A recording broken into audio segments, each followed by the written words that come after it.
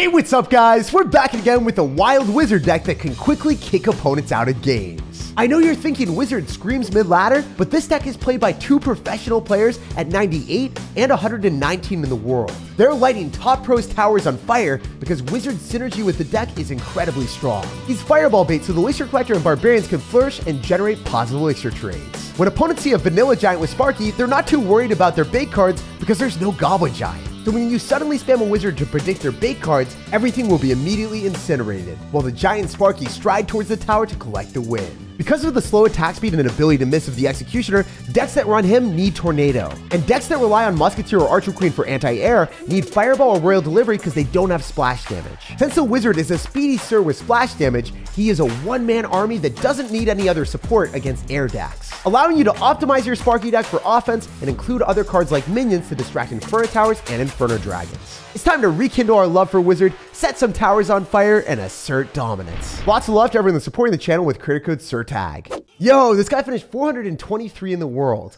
and I read his name is Tractor. I don't know how that happened, but maybe I'm in a farming type of mood. I'm ready to farm some positive elixir trades with our giant. Okay, maybe our wizard actually. Wait, wizard's gonna be able to kill everything. Usually wizard's trash, but today he's taking out the trash, eliminating the bait cards. I'm gonna go for minions off to the right because I want to be able to protect everything with the wizard. And he's gonna have Mega Knight plus Bomb Tower. What is this madness, dude? Hard counter Royale. I think that because of his clan, he's trying to match a Royal Hogs player and make them tilted out of their mind to the point they quit the game.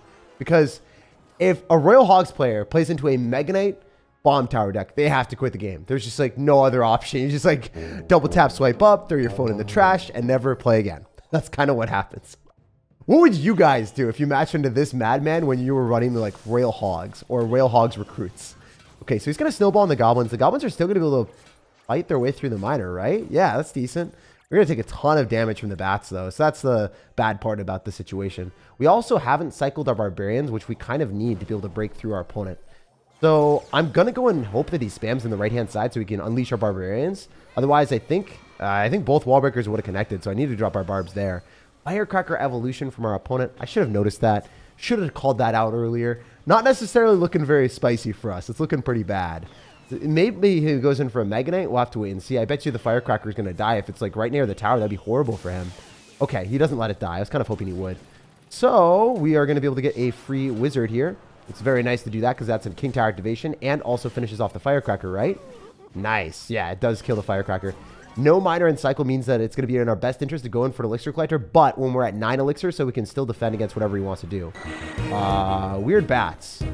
Those are bad bats. What is he doing? Okay, he's going to go Goblin Gang counter, right? He's going to have something for that, or is he just going to spam wall breakers directly into us? Yo, that's so good. And we're able to finish off his entire Goblin Gang with the Zap. That's massive value. All right, we're going to go Barbs. I think it's worth it. Even if he Mega Knights, he'll Mega Knight directly into a Sparky. Uh, I think that's fine, too. We can go for Harry Potter. Harry Potter's going to vanish the firecracker. Please, one more shot. No! Okay, I see why you're a top ladder player now, and I don't like it. I really don't like it. Oh my gosh, that was annoying. All right, we're going to go for a zap here, and paired with the Spear Goblins, we might be able to kill the Firecracker. One hit, one hit, one hit. Yes, Spear Goblins. The Spear Gibbies. Okay, one Spear Goblin still left alone. That's good. We can go in for our minions, and then he's going to Knight this. So we need to go for a Sparky in the back and build up a big push again. Just run it back. Yeah, I knew the Knight was going to come down. That's the only sensible play that he could have done. We're going to go in for probably a Giant here so then the Firecracker doesn't hurt us too much. And then I can go for a Wizard directly on top of the Bats if he makes a Bats play on the Giant. Decides not to. Interesting. All right, let's go for Minions here. Wait and see if he wants to do anything. He goes in for any type of Goblins, we're going to zap him.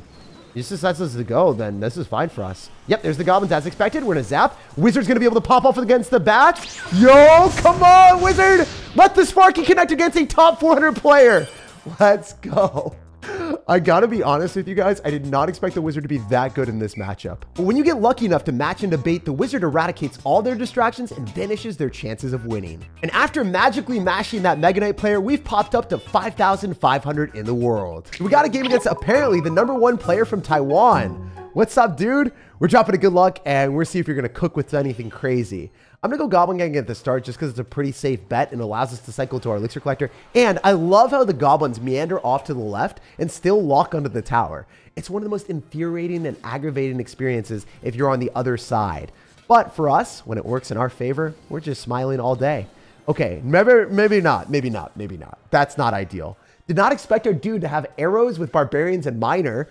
Come on, man. Why are you shredding my tower in half? That's not how it's supposed to go at all. All right, I mean, I guess we'll take the silver lining, which is we can elixir collector for free because our opponent doesn't have miner in cycle. The bad thing is he's going to have Lava Hound and it's barreling right at us. I guess we have Wizard, so that's one of the best cards to counter Lava Hound in the entire game. Wizard, you're really showing your strength today in this deck. When you don't need a Tornado, Wizard can give you a lot of value. So, it's nice. Even if he's going to get poisoned down, we're not going to frown. We're fine with it. We can go in for minions, and they're going to turn into minions on top of the fly machine, and we could zap if we needed to. Wait, he's overcommitting with a miner. I don't think that's very smart at all. Not only is it going to die to our barbarians, it's going to allow us to cycle the barbarians for only a negative two trade, which we're definitely going to get two elixir from our opponent here, so it's going to be a positive trade overall. And we're cycling the evolution while going for elixir collector, because guess what? The dude doesn't have his miner. oh, this is awesome. And we bait out the arrows too. We could go in for a giant goblin gang here. Wow, that sounded weird. You know how there's a goblin giant? Well, this is a giant goblin gang. oh, that just seems like a filthy mutation, but we like it. We vibe with it. So we can go for a zap to reset the Inferno Dragon right as he thinks he's about to kill the giant. The giant goblin gang perseveres. There's a lot for our homie to fear. All right, we're going to be able to finish off that fly machine, and wow, that giant is putting in giant work. No wonder he got his name as Giant. Dang, that thing is thick. And we bait out the miner too. Okay, this is actually a better situation for us, believe it or not, that the tower's still there. Because now, the tower won't be able to shoot our giant on the left-hand side, like the king tower isn't activated. Obviously, I think that it's not like the best thing in the world, but we're trying to take that silver lining as well. Nah, that was, that was me being too positive, I think, in reality. We rather have taken the tower, because then we wouldn't have had to spend elixir with the zap, right? It's fine, though. It's all good. Or maybe not. Maybe I have to sack uh, the tower on the left. Yeah, I think I have to sack the tower on the left. Let's go in for a zap here, secure the tower guaranteed. Go in for our wizard in the back, finish off all the stuff, and then get creative with our counter push. So he hasn't seen what we really want to do. We're building up the big, tried and true blue Sparky push. I guess it's red for him, but it's blue for us. We see the colors as, you know, on our team, not from our opponents. It's definitely red because, you know, it's, it's funny how the, the colors are reversed. I wish you got to pick your own color in Clash. It'd be awesome. You know? You just pick pink all day, baby.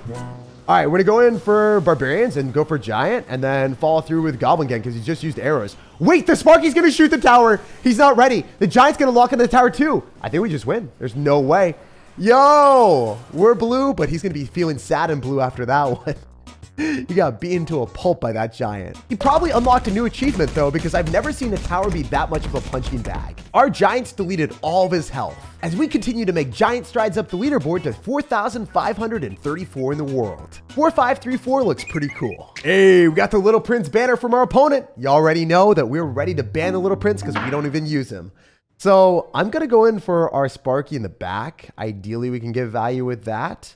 Generally, if our opponent's going to be spamming into us, we want to go and kite his units directly into our Sparky using our Giant, and then obtain the best value on this planet. The dude is going to have Baby Dragon, so it could be a Sparky type of deck if he's going to be running like something pretty wild like us. Or he could more likely be running Graveyard, like everyone in the game, and that's exactly what he does. Right on cue, he drops the Graveyard. He's running the Little Prince version, which is no surprise since we saw his banner. I could zap on the skeletons, but I don't even think that's worth because Wizard's going to clean up the majority of them anyway. We could zap on top of the Little Prince, but it's going to die as well. We could go Goblin Gang, and that is the best worth value. also, one of the weirdest ways of saying something, best worth. But it allows our Wizard to get tanked for it for two shots, and we got more value. The price is wrong for our opponent because he is singing a sad song, realizing that his elixir all went to waste. Now I can Elixir Collector in the middle pretty freely. You never want to drop your Elixir Collector in the back against Graveyard. Reason is they can Graveyard Surround on top of your Elixir Collector and get insane value. The Skeletons are all able to surround the Elixir Collector and you can't stop it.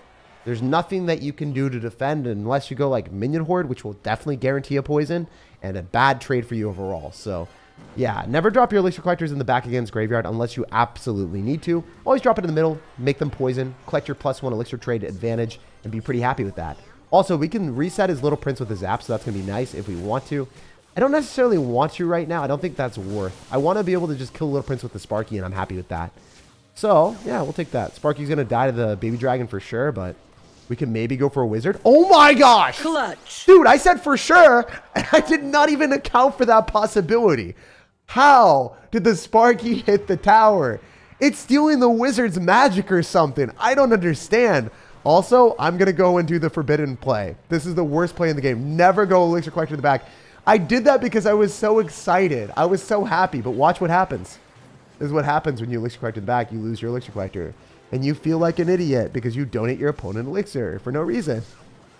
Okay, guys, sometimes we're, we're going to be bad at the game. Just a little bit, you know? We're going to go for Wizard and Giant the left-hand side because we are up a lot of Elixir. And I think I can reset his Little Prince and possibly take his tower. I don't know 100%, but I'm hoping that this works because the Wizard should be able to melt most of his stuff. And you reset the Little Prince with the Zaps, and the Little Prince has to reset its attack animation and do all the work that it did before. But with NATO, he got completely bailed out of that situation. So really bad Elixir Collector from us put our opponent back in the game when we had it completely wrapped up with that Sparky shot. So now we're struggling a bit.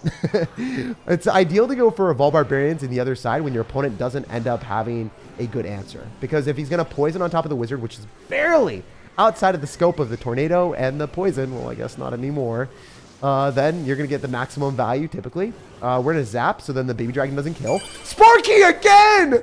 Oh my gosh! If we didn't zap with that Sparky, we wouldn't have won the game immediately. it would have been even more sketchy as the game escalated. Because the guy had Evolve Knight and Tombstone to tank, so there was no guarantee that we would have won that. But I should have had that game 100% won if I didn't go for that stupid Elixir Collector in the back. At least we were able to show you guys exactly what not to do while winning, which isn't something that happens often. Usually you take a fat L there. But our Sparky Wizard Magic is only putting W's on the menu today, pushing us to 3,800 in the world. Hey, this guy won the recent 21 challenge. Let's go. So you already know he's going to be pretty good at the game.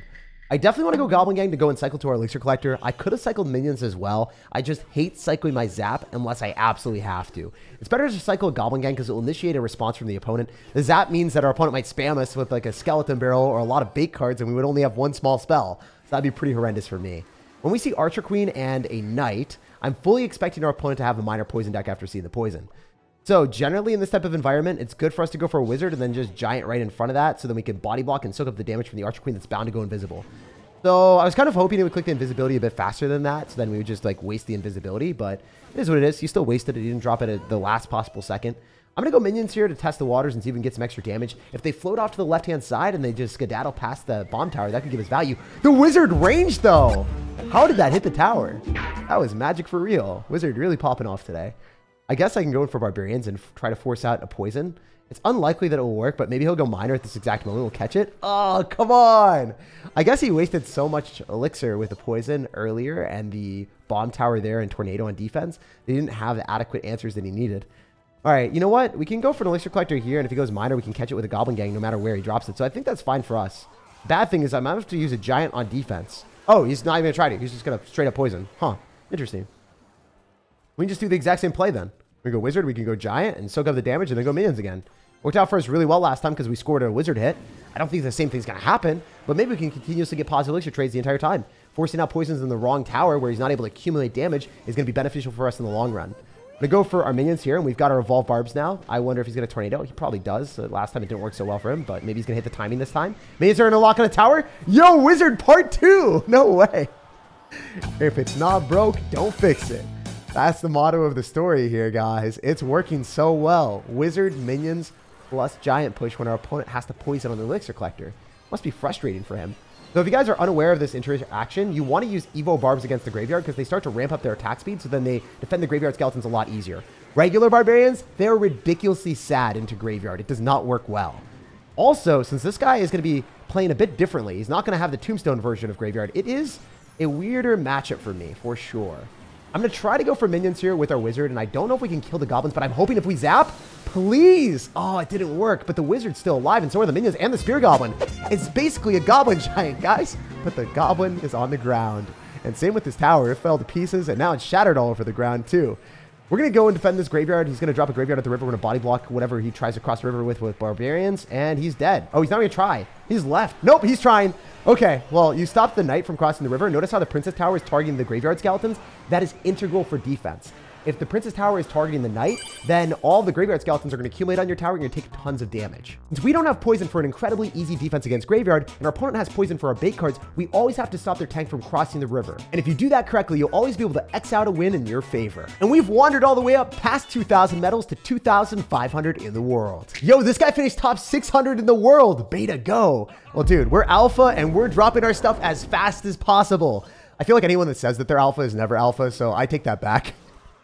We're going to be going in for our barbarians or Sparky in the back right in the night. Is this another graveyard player?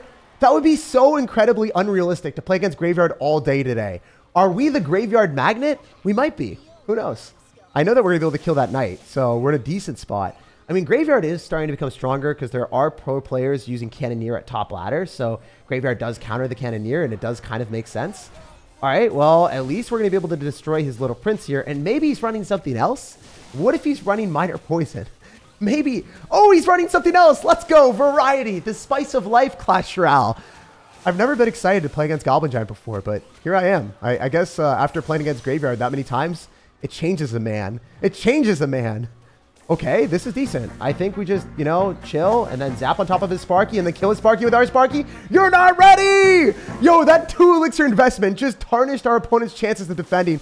And look at that. It devoured a knight too. Get that thing out of my sight. He's sitting there astonished. And I am too because I can't believe he just let that happen. That two elixir just ended my man. Ended him that was way too much fun. And that's why you run Zap with this deck against Mighty Miner, Inferno Dragon, Sparky. It comes up clutch more than any other card in the game. Okay, I bet you he's got Lightning after seeing the Hunter.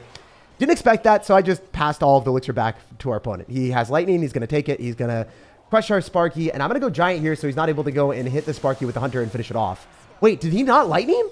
What is this Wild Child doing? Okay, we can soak up a Sparky shot because it's not going to be able to last and blast our Giant. So it's not going to blast our giant and our Sparky at the same time. Wait, he loses the Sparky again. no way. I'm pretty sure Sparky players don't know how to defend against Sparky because they're always on offense. So they've never understood or added the skill set of defense to their arsenal. As epitomized by this guy, if you play against another Sparky player and you have Zap, it looks like you just beat them down and three crown them easily. And this guy was at the top of the world too. I mean, we're sitting here at 2,100 in the world and we three crowned him in a second. And that's a true testament to the pure power of Sparky Giant Wizard. If the opponent makes one mistake, they vanish instantly. Like if you enjoyed today's Wizard Magic, subscribe for more daily videos, and have an amazing rest of your day.